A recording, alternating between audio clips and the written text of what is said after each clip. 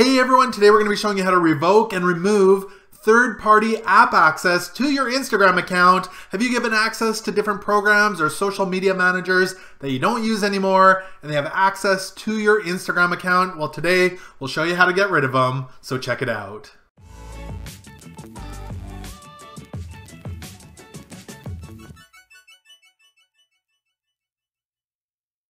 Hey everyone, it's Ken here from Northern Viking Everyday, and if you are new to this channel, it is all about reviews and how-tos, so make sure you click that subscribe button so you don't miss out on any upcoming videos. Today we're going to be showing you how to remove or revoke third-party app access to your Instagram account. Maybe you've given access to different um, social media managers or different things like that, and you want to remove them because you don't use them anymore. Well, today we're going to show you exactly how to do that, so let's jump on my phone and get right into it.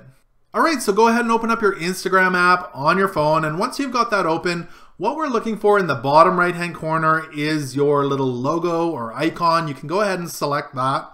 That's gonna bring up your Instagram page. But what we're looking for in the top right hand corner, you're gonna see these three lines. If you select that, it's gonna bring up some options for you.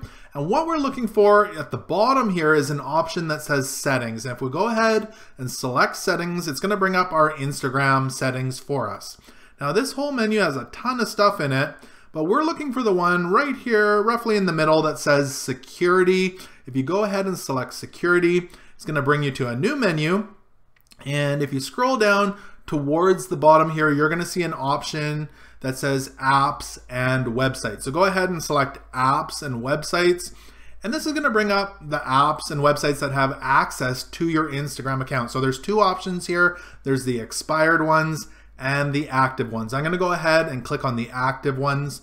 And you're gonna see all the apps or programs that have access right here to your Instagram account. So I tried out this social media manager called Later. It's not for me, so I'm gonna actually remove that so it doesn't actually have any um, rights to read or write on my Instagram account. So I'm just gonna go ahead and click remove and it says remove later, which is what the app is called. I just go ahead and click remove and there you go. It's gone. It's that simple to remove apps and programs from your Instagram account.